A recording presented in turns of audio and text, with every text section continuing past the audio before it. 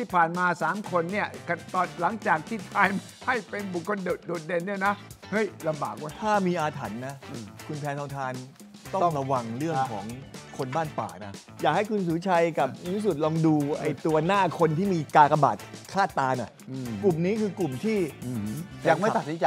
แฟนคลับลุงตู่ผมเชื่อว่ากระทรวงต่างประเทศ หรือคนที่กล้าแนะนำท่าน จะบอกว่าท่านนายกใช้ quiet diplomacy quiet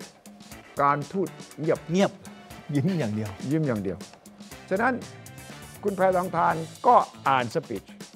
อ่านสปีชอ่านสปีชในเวลารีทีตเวลารีทรีตก็ฟังฟัง แล้วก็จริงๆอะกลยุทธ์ดีที่สุดคือ quiet diplomacy แล้วบอกว่า I come here to listen พบกับเรา 3 คนในรายการคุยให้คิดทุกวันศุกร์3ทุ่มครึ่งทางไทย PBS ครับ